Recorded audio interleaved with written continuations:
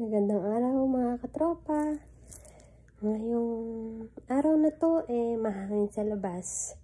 Hindi po tayo makalabas kaya dito lang tayo sa bahay.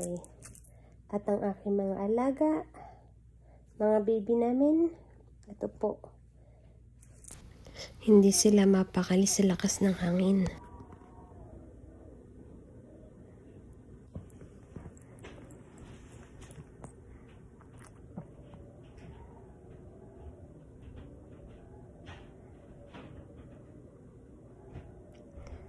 This is what happen if it's so windy outside. They get scared and they want to stay beside you.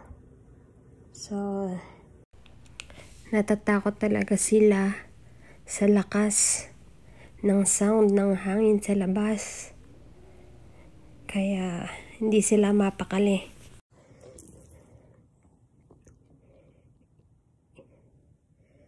It's so windy and it's very cold. So, hindi sila makatagal sa labas. Kaya, after lunch, ito na. Kalong mode ang aming baby. Si Princess Chiclet.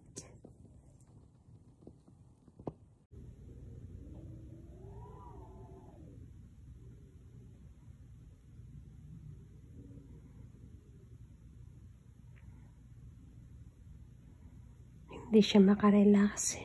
He still heard the sound of the wind.